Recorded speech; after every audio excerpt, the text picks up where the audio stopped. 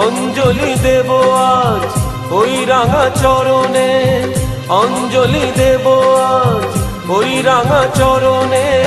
স্মরণে থাকে